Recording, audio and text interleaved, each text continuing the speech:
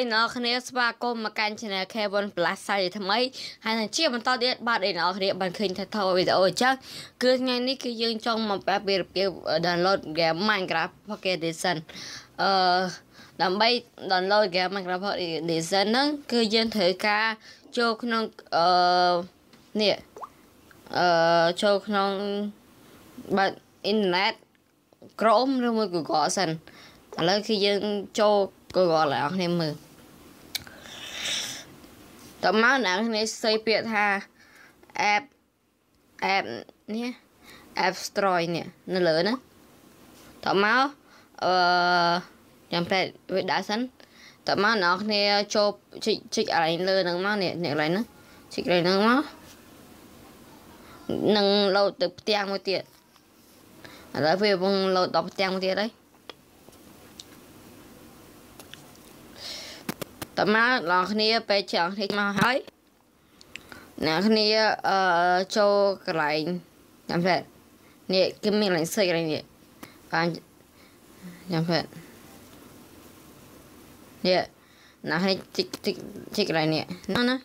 ណាស់ជីកកន្លែងហ្នឹងមកតមកណាស់នេះជីកចាំផ្លែណាស់នេះ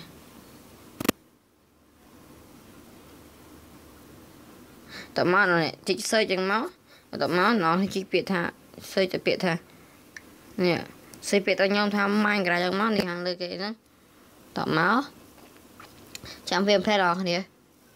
វាពងតែនេះនេះម៉ាញ់ក្រាអឺ pocket edition ហ្នឹងដល់តមកដល់គ្នាជីកជីកលើហ្នឹងមកចាំវាផ្លែដល់គ្នា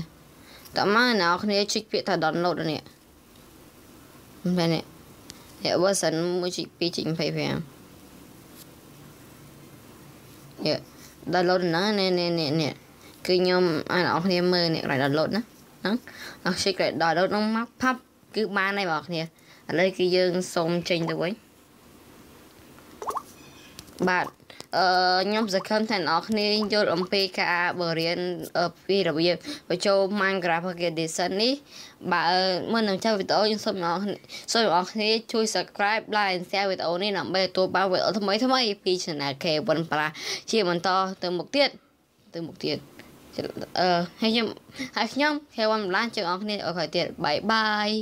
មិញកន្លែងបាយ